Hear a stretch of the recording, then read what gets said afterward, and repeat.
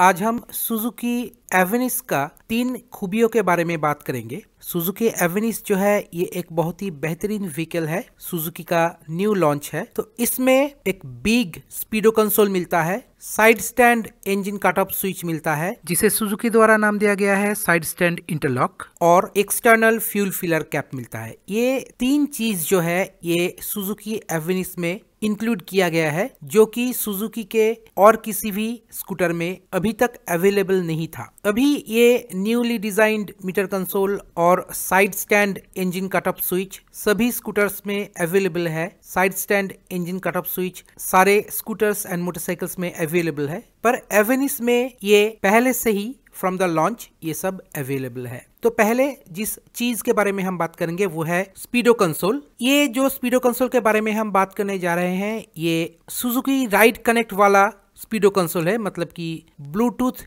Enabled स्पीडो console है तो इसे ऑन करते ही आप देख सकते हैं कुछ टेल टेल लाइट्स यहाँ पे ग्लो करते हैं, जैसे eco light information light engine state indicator and side stand down indicator displays are clear and big meter console में आपको दो बटन दिखाई देता है, एक है एस ई एल मतलब कि सिलेक्टर बटन एक है मोड बटन तो हम सिलेक्टर बटन को दबा के एक बार देखते हैं। तो सिलेक्टर बटन को दबाते ही आपको यहाँ पे trip A trip B average fuel consumption average speed battery volt total distance covered ये सब इंफॉर्मेशन दिखाई देता है। और मोड बटन को दबाते ही यहाँ पे पेयरिंग मोड आ जाता है। Because this is Suzuki ride connect edition Bluetooth enabled system इसलिए मोड बटन को दबाते ही पेयरिंग मोड आ जाता है। इसके ज़रिए आप अपने मोबाइल फ़ोन के ब्लूटूथ के साथ इस व्हीकल को कनेक्ट कर सकते हैं फॉर नेविगेशन एटसेट्रा नेक्स्ट जिस फीचर के बारे में हम बात करेंगे,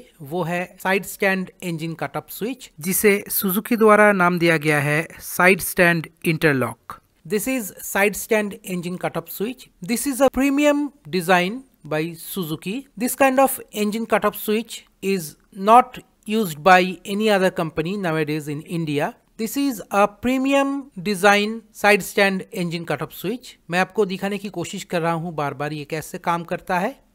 आप देखिए।